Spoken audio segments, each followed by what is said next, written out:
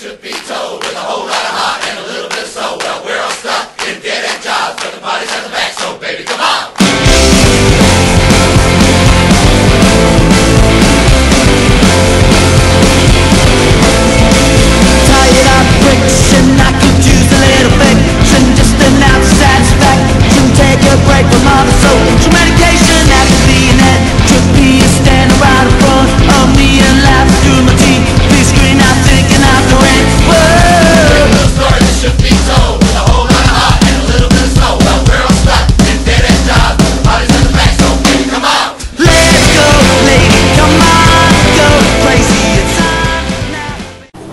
welcome to Red Top TV this week. This week we have a huge lineup, including an early settlers photo story from our Year 7 reporters, And a new Teacher of the Week interview. and a compost story.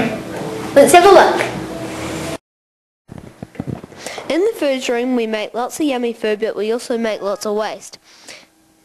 Miss Venables has been doing something about this waste, and it's called composting. It is so interesting that the people who made the America Cup graphics, tailor-made, wanted to come and film it. And in- I interviewed Rudy about his job. I'm going to bring them up here and put them into our system, but first Hi. Well, I'm here to ask you a couple of questions today. Um, what first inspired you to become a filmer? Oh, I guess um, watching lots of films and videos, um, it's an inspiration. Um, and just you discover with um, equipment these days, it's so easy to make a film. And uh, it's, yeah, I don't know, it, it's um, just something I always wanted to do. And if you find something that really interests you, there's a good chance you'll excel in that and uh, you'll do well. Um, so yeah, no, it's something I just find stimulating. Well, that was interesting. In a cool way. So, how did your group go on Friday House Sports? Well, we might have got smashed by Lynn. And we might have got beaten by Chapman. Um, well, let's just see the sports report. Yeah. Hello and welcome to this week's Sports Report. I'm your host Alicia. This week we have the House Sports results and a story on the school touch teams. First let's have a look at the House Sports results. Hello and welcome to this week's House Sports results. I know we've just had the swimming sports, but the results are not in, so we have to wait till next week for those. But as you can see, the tables have turned with Chapman in a strong lead with 18 points. Highgate following behind with 14. Lynn now beating Shetland with 9 and Shetland in 4th place with 6 points. Come back next week for the swimming results. Go Highgate! Now for the school touch team story. Let's have a look at how they're going. For the last three weeks, the school's four touch teams have been down at the Oval playing for Balmacewen. They've all been playing really well and they have all tried their best. Last week, only three teams played because of a bye. The girls' Year 7 and 8 team beat Macandrew Bay 4-0. The boys' Year 8 team beat KBC 8-0. And the Year 7 boys' Red team lost to KBC 10-4. Good luck for your future games and Red Top TV people look forward to hearing your results. Sweet, the touch teams have been going really well. Did you know we have four teams entered in the competition? Well, I'll see you next week for the exclusive story on the house swimming sports. Back to you, Courtney and Estelle. Woo! Okay, so, house captains.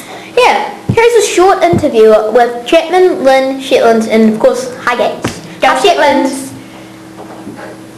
Hi, now I'm here with Lynn House Captain, Sophie Russell and Chris McNo. Uh, how did you feel when you were voted House Captain? And who did you have to thank? Uh, I felt real good when they said my name and yeah, I'd like to thank the teachers for picking me. I felt pretty good too, and I'd like to thank Dylan Crawford for being my campaign manager. Go Dylan. Um, what house event do you think Lynn's going to clean up in this year? Um, I don't know, maybe cross country? I would probably think athletics. Cool. Thank you for your time. I'm here with Amy. And Ben. the house captains of the awesomest house ever, Shetland! Yeah. Anyway, Amy, how's life? It's good. Now, how do you feel about being house captain? Well, I was actually quite surprised when I got it, but yeah, it's cool because everyone goes around going, oh, you're the house captain. It's like, yep, I'm the house captain. Yep. Now, Ben, how many Weet-Bix can you do? Ten. Well, now, how did you feel about getting house captain? It felt good, really good. A lot of responsibility. Okay, there's one more question. Ben, what's your best cheering voice? Go Shetland! Woo! Amy. Go ponies! Woo! That's nice. Well, thank you. Let's go on to Highgate. Hi, I'm here with Chapman House Captains Matt and Claudia. Uh, first question. What house event do you think your house is going to clean up in this year? All of them. Personally, I think uh, definitely athletics. Nah, all of them.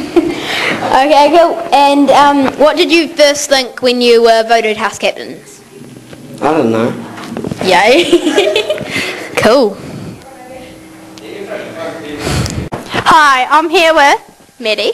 and Zach, the house captains of Highgate. Now, Maddie, how did you feel when you got chosen as house captain? Um, I was really chuffed because there were so many other people doing it. Um, very surprised.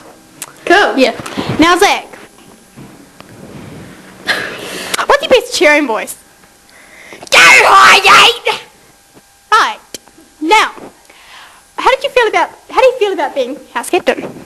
Oh, I'm real happy. He's a very happy chappy. Yeah! C- how many Weet-Bix can you do? Eleven. Sorry, Ben. You're just outdone by Highgate. Thank you. Happy birthday to these students for next week. Alex Phillips, Chris Herbert, Kapora Spooner, Ebony McClintock, Ruben Knox, Bailey Porter.